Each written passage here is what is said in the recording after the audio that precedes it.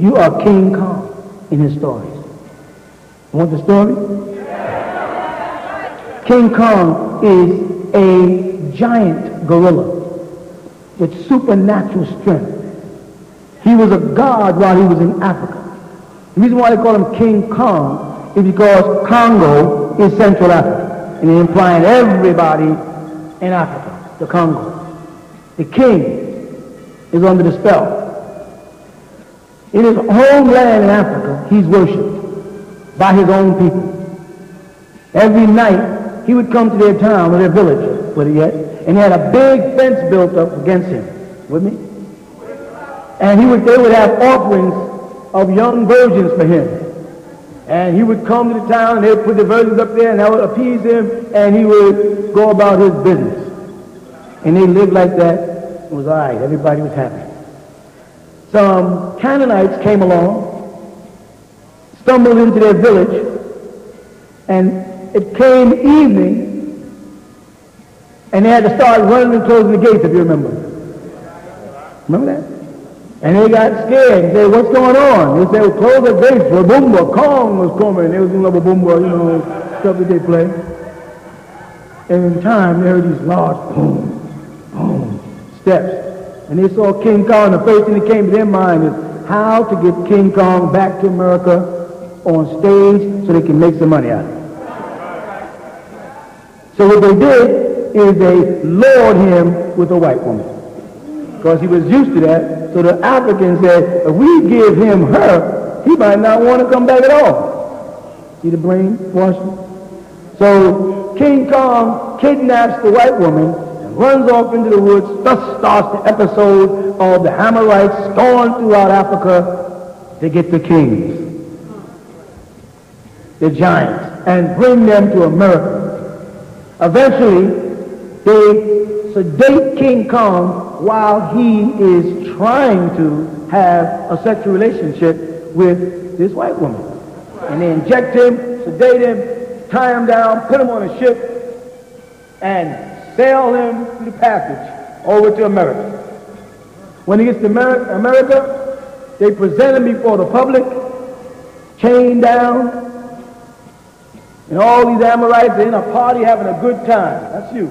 Chained down mentally while the Amorites have a good time. He'll let you in the party, but you're going to be the clown, nigga.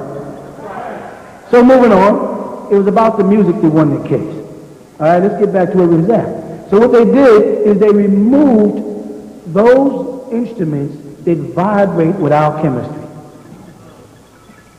And now every Negro got some synthetic instrument in his basement. He's pushing little Casios and Panasonics and all fake. All removing the essence. Back to the point. The Rainbow Project, which is sending out these wavelengths that is called mind control, started back there with who? Rainbow Project. Who's Rainbow?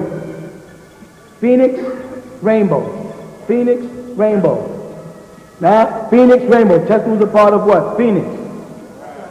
Rainbow. Bellick. Remember? Time Machine, Philadelphia Experiment? Well, the Philadelphia Experiment was initially intended for the sole purpose of creating invisibility for radar, which they already had called the stealth. You understand? When they got into it, the mathematicians who got involved in it found out that also they can interfere with the brain because of what they refer to as zero time reference. That if all five or six of y'all went through a time loop here, when you came back, Abdul Bayt would be affected one way, you'd be affected another, she another, she another, and him another. They found that out. They realized that time has something to do with now that time in the future has already happened and time in the past is still happening. I think I told you all about that years ago. I said if a person's adrenaline is a high point when they die, it will stamp in now. And they will reiterate that incident. And this is why people sometimes think they're driving along and they see a ghost run across the road. And it's calibrated that they come back to that same spot every year or sometime every 10 years, depending on how it aligns, that that same thing will happen over and over again. A lot of hauntings, as they call them.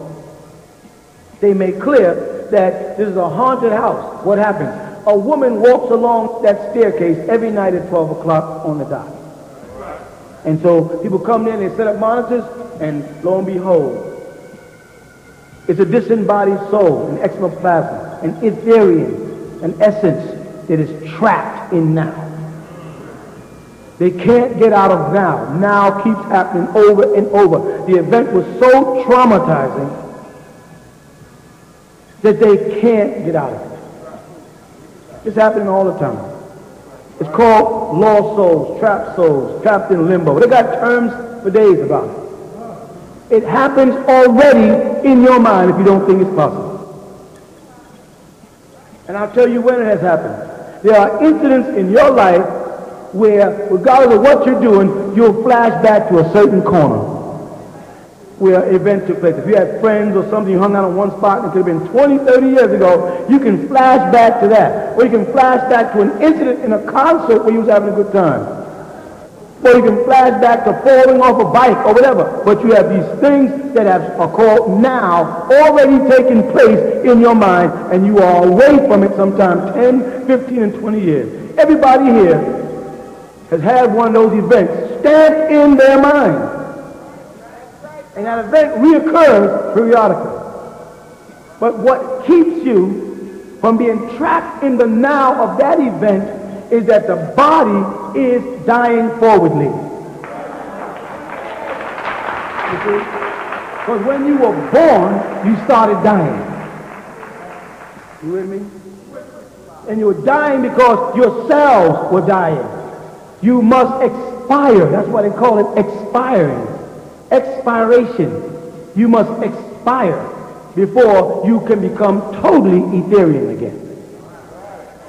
But the events that take place while you are expiring, they stamp themselves in now.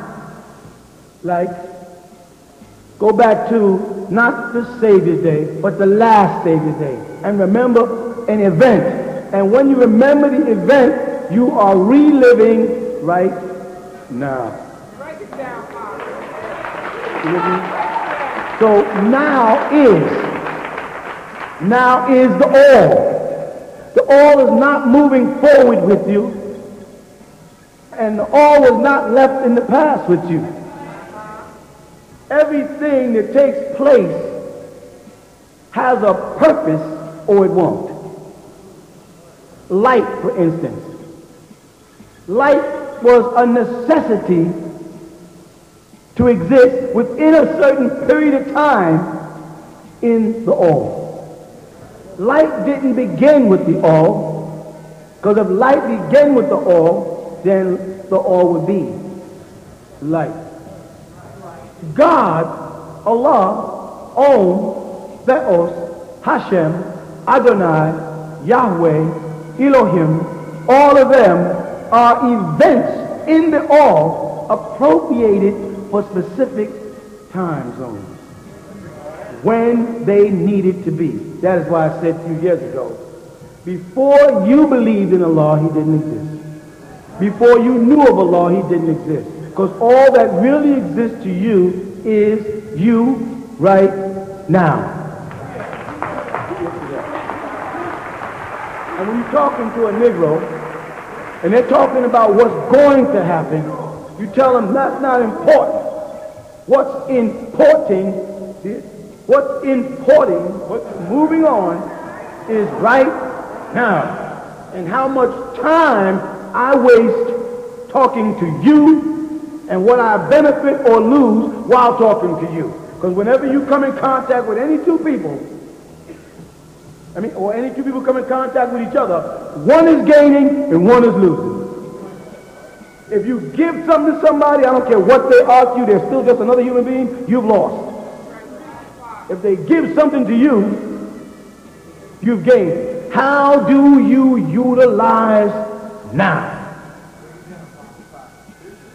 If you come out here and you talk to me, I give you something that you take with you forever. It's like saying, see that puddle over there? Don't fall. So now when you leave me, and as you encounter people in each event of now in your life, you come to find out things I say become important at the moment. Meaning, someone starts a conversation, and you say, that's interesting. Pop was just talking about that. Bam, you're right on.